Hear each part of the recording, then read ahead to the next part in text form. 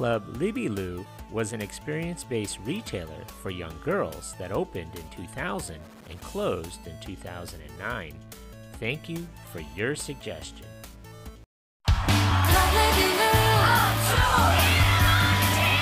You can be like Hannah Montana with the new On Tour makeover at Club Libby Lu. Perform with your bling and sequin tank, microphone, and more. You can invite your friends to the hottest ticket in town, you! Club Libby.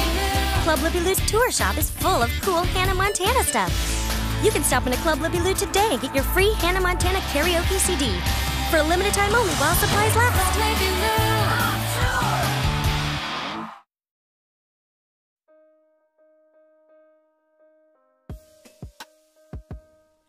Club Libby Lu was opened in 2000 by Mary Drolet and her two partners in a suburban Chicago mall. Mary Drolet was driving her daughter to yet another of her friend's birthday parties when she had a eureka moment and an idea for an interactive combination playroom and retail store where young girls could play princess, make their own bath gel, buy glitter covered clothes, and of course, throw birthday parties. She had a strong desire to start her own retail business, using her more than 20 years of experience with Montgomery Ward's and Claire's store. In 2000, she founded Club Libby Lu, named for her childhood imaginary friend.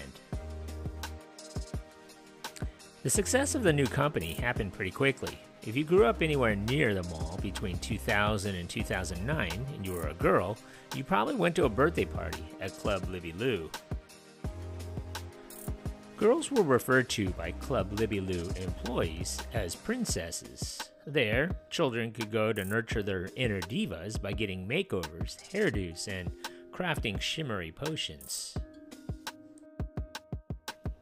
For 25 to $60, depending on the level of makeover you were getting, club counselors painted your nails, did your hair, applied body glitter, and when the makeover was done, you could strut your stuff down Club Libby Lu's bright, flashy runway in a feather boa to Hannah Montana and Ashley Tisdale tunes. On your way out, you could shop Club Libby Lu's gift shop and buy yourself swag like pop albums and stuffed chihuahuas just like Paris Hilton's.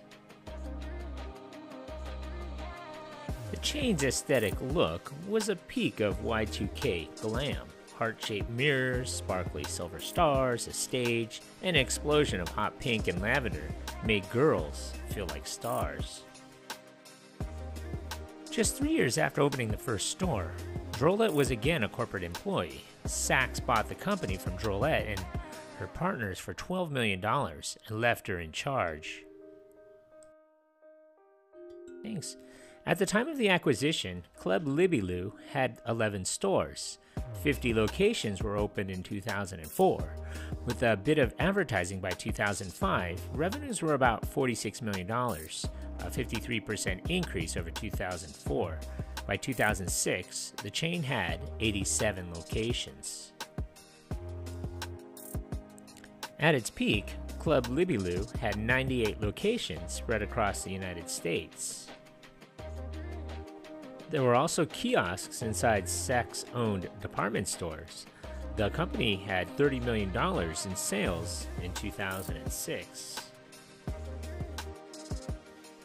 The company did receive some controversy in December of 2007 when a mother from Garland, Texas made her six year old daughter write a fake essay about her father as part of a contest held by the company where the winner would receive a grand prize of four tickets to a Hannah Montana concert. In the essay, the mother explained that her husband died in Iraq via a roadside bomb while serving in the army while her daughter was getting a makeover in preparation for the concert at the Club Libby Lu store in Garland, a local news reporter went to the store as part of an investigation for the station. The reporter informed the mother that there was no man by that name who had ever served in the military or died in Iraq. After the story surfaced and gained national attention, the mother and her daughter were disqualified and the tickets were awarded to another winner. Though Club Libby Lu was very popular, it also had its share of detractors. Some parents found it shallow and materialistic, claiming that its focus on appearances was harmful to young girls. In 2008, Saks announced that it would be closing all 98 Club Libby Lu locations. The chain had been struggling to be profitable for years, and the economic recession in 2008 forced execs to finally shut it down.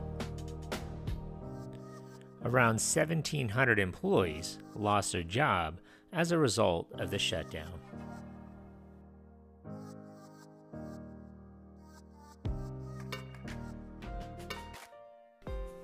So, what are your favorite memories of this place?